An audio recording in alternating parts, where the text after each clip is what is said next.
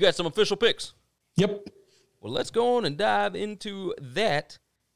These are our official picks for week seven. These are the ones that we actually have our money on. So uh, I will go ahead and start us off, Chris.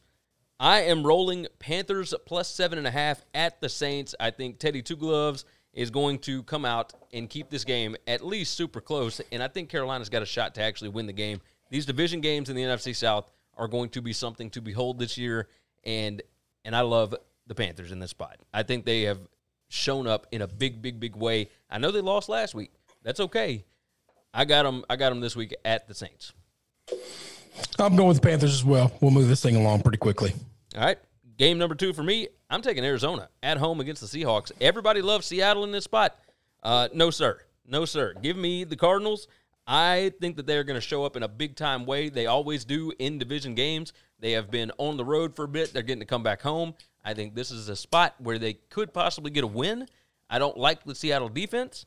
I I do like Kyler Murray, and I like what those guys are doing. Uh, Hopkins is like the perfect security blanket for them. Give me the Cardinals plus three and a half. I'm gonna go the other way. I like Seattle. I think Russell Wilson, DK Metcalf, uh, the, the, Arizona's defense has no stop for those guys. Lockett will be big. Carson will be able to run. This offense will roll against Arizona, and Arizona's offense they got problems. They need to figure some things out, man. They are not good. They have not looked good the last two weeks in a row. I do not trust them at all. Totally fair. Totally fair. Game number three for me. We talked about this one already. Denver Broncos at home getting 10 and a half. I've got them 10 and a half at Bet Online right now. Uh, that's the way that I'm rolling. I'm going to go ahead and take that hook over the 10. I think the Broncos in a snowstorm, in foul weather, etc., keep this game close. I think the Chiefs are going to take it a little bit easy here because that's just what they seem to do now. They play against a, a team that they feel like is a threat to their throne in the Bills. They did the same thing against the Ravens, and then the next week kind of took the week off, doing the same thing here. The Bills, everybody talked about Josh Allen, how good he is. They talked about the Bills possibly winning the AFC, or that's who they might face in the AFC Championship game. And Patrick Mahomes and them boys ate them up. I think the same thing happens here the week after one of those. They kind of take the week off a little bit, and the game ends up closer than expected. Uh, give me the Broncos plus 10 and a half. I hate to do this on McKinnon's uh, great special day, but his Falcons got to where they got their one win for the new coach, for the new regime. This is what happens. It happens all the time. Is coach gets fired, bad teams look really good for a week, and go ask the Texans how you look on the second week. I give me the Lions. Lions plus two. Wrong team's favorite here. Lions been playing much much better lately, and they're just the better football team. They're they're going to win this game outright. Plus two. Got it. Sounds like a plan to me. I am rolling with your New England Patriots in game number four here. I like the Patriots minus one and a half. Uh, you can catch that over at Pinnacle, and you're going to have to grab it quick if you're going to do it because, oh no, BetMania's got it. A couple other spots have still got one and a half. Uh, give me the Pats minus one and a half. Everybody and their mother is betting San Francisco. It opened at five and a half, and it is now all the way down to one and a half. Pats with a week to actually prepare, no COVID positives, all that kind of mess they are actually going to have time to develop a game plan. And Bill Belichick has Kyle Shanahan's number. Shanahan coming off a big time division win over the Rams, having to travel across the country.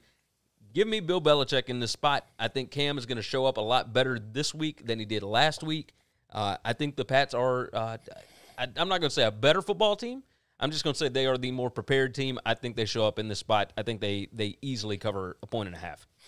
Yeah, I like that. I like that pick. Uh, give me Chicago plus six. That is that is one of my official picks.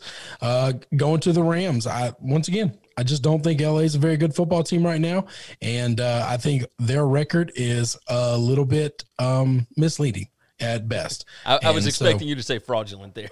No, I'll, I'll, I'll, go go with something not as harsh. Uh, but yeah, I, I, think the Bears are, are looking good, and um, and and they I think they're the better football team in this matchup.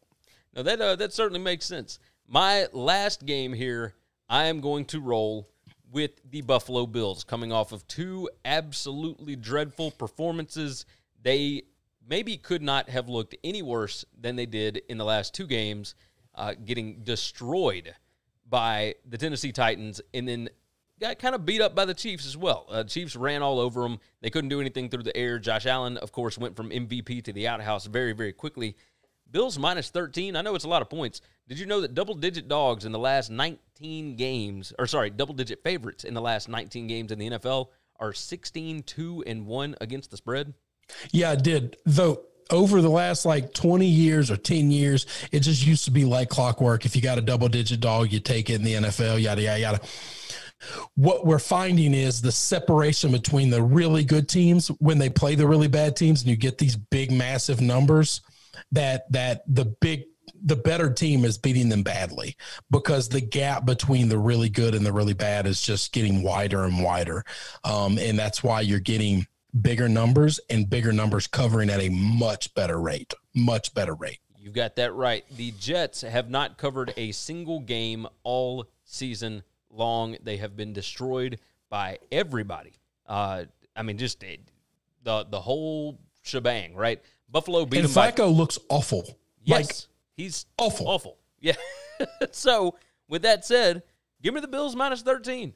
These, give me the, this yeah, Jet team give me awful. the Bills minus 13. Make it 14, make it 16, make it 18. It did anything under 21, which you don't get those spreads in, in, in the NFL. It doesn't matter. It doesn't matter. This Bills team is pissed off and they're looking to kick the shit out of somebody. And they are going to go into New York and they're going to kick the shit. They're going to go to Jersey.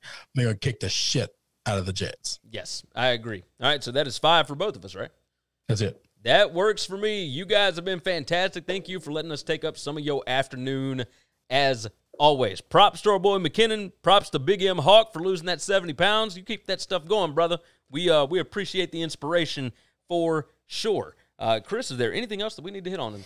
That's it, man. That is it. Uh, everybody go out and see Smith and Myers tonight, the Shinedown duo over at the Malco Summer Drive-In in Memphis if you are in the area. Uh, my wife and I will be out there sitting in the back of the van, probably eating Chick fil A and drinking a Coors Light. So it's going to be a good time. Uh, with that said, go over to winningcureseverything.com. Go over to sbrpicks.com slash NCAAF. Make sure you are subscribed here. Make sure you are subscribed to the podcast as well. And make sure you are subscribed to uh, the SBR YouTube page because Saturday morning we'll be going live with our college football closing line show. Uh, let's see, Chris. I appreciate the time today. I know it's been a busy day, but we uh, we love you, and I'm glad that we're back on a regular ass schedule. Me too, man. All right, let's uh, let's go ahead and get out of here. You guys have been great. Uh, take care of yourself. Take care of each other, and we will see you again on Friday. Thanks for checking out Winning Cures Everything. If you want to keep up with us, hit subscribe on YouTube or your favorite podcast app. Visit the website at winningcureseverything.com, or you can like us on Facebook or follow us at Winning Cures, at Gary WCE, or at Chris B. Giannini on Twitter. Share out the show, leave a nice review, and make sure to comment and tweet.